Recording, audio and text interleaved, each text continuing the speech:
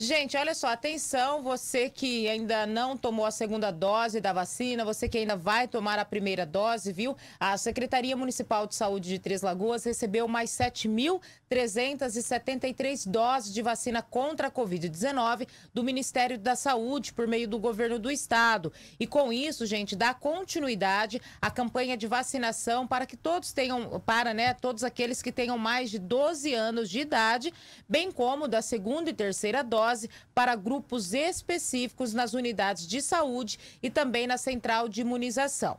Todas as unidades, viu, gente, de saúde aqui de Três Lagoas estão disponibilizando vacinas a partir desta quarta-feira, dia 22, até quinta-feira, dia 23. E na sexta-feira também, das 8 às 13 horas. Na central de imunização, que está ali no prédio da antiga da, da Biblioteca Municipal, que fica ali na circular da Lagoa Maior, tem vacina hoje, quarta-feira. É, amanhã também vai ter vacinação. E no, na sexta-feira também, das 14 às 18 horas, viu, gente? Lá na central de imunização, só no período da tarde. No sábado também. Sábado vai ter vacinação lá na central de imunização, das 14 às 18 horas. Todas as pessoas que tenham mais de 12 anos, viu, gente, podem se imunizar com a primeira dose da vacina contra a Covid em qualquer local, em qualquer unidade ou lá na central de imunização.